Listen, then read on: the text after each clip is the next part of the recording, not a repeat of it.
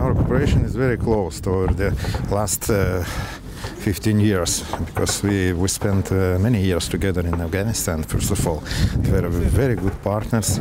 From our side, it's very important to continue our partnership, and it is very good possibility for us to learn from you because our geopolitical situation is very similar. But first of all, we have the, the, our common brigade, uh, Lithuanian, Polish, and Ukraine brigade, and we will try to find a mission for this brigade. We will continue our cooperation and our training mission here in Ukraine. This is my first visit. I'm very, uh, very happy to, to see our soldiers here and you, especially you, very motivated soldiers. And, uh, and uh, thank you very much for, for your friendship and cooperation.